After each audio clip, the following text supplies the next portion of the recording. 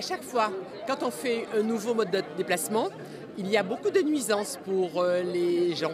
Et par conséquent, euh, tout le monde est assez fâché. Quand on a fait le tramway, ça a été la même chose. Mais après, on se rend compte que fluidifier le déplacement à l'intérieur de la ville et à l'intérieur de la région est quelque chose qui est utile à tout le monde. Et effectivement, aujourd'hui, on se dit que ça peut être utile pour les habitants de la région parisienne d'avoir plus d'harmonisation dans ce qui est prévu pour euh, les déplacements, pour les gares, les transports. Donc j'espère que ce projet pourra euh, continuer en, étant bien, en trouvant sa place entre justement les différentes structures qui existent pour la région parisienne.